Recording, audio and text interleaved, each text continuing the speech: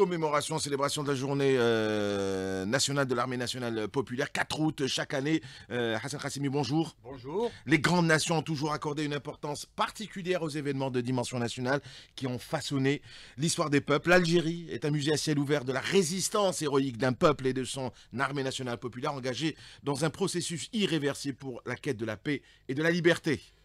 Oui, effectivement, la journée nationale commémorant l'armée nationale populaire le 4 août de chaque année est un événement de dimension historique qui a été inscrit par le président de la République, Abdelmajid Tebboune, dans le calendrier des fêtes et des événements historiques que l'Algérie célèbre en souvenir de l'histoire glorieuse de notre institution militaire.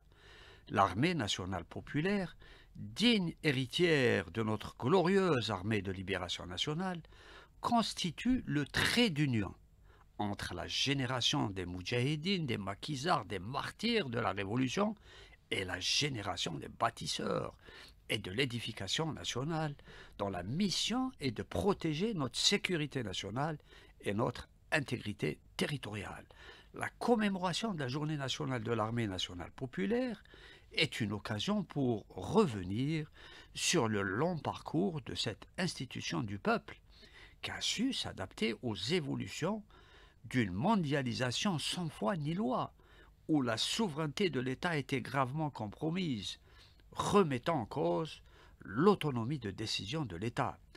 Les nouvelles croisades judéo-sionistes pour le leadership mondial est un processus subversif qui a été déclenché sous la forme d'intervention étrangère occidentale coloniale.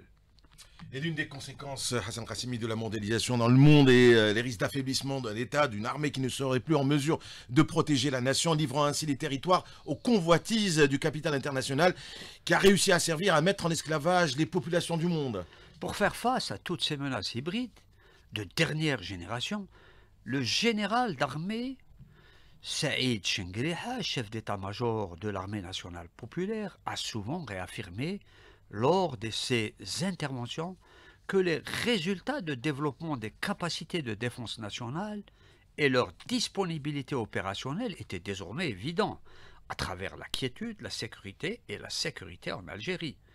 La modernisation de l'armée nationale populaire a été rendue possible grâce aux exigences du commandement de l'ANP en matière de formation à tous les niveaux, notamment dans la possession des armes, des équipements, des techniques de pointe, dans le cadre d'une stratégie bien pensée prospective.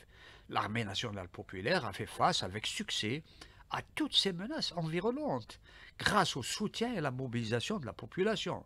Les slogans sionistes du tout sécuritaire et de Medenia Meshi Askaria, repris par des sous-traitants locaux grâce au financement occulte d'officines étrangères connues et margeant sous le logo de la, cinquième colonne, colonne coloniale, cherchent à donner une seconde vie à la culture harki de la trahison et de la division.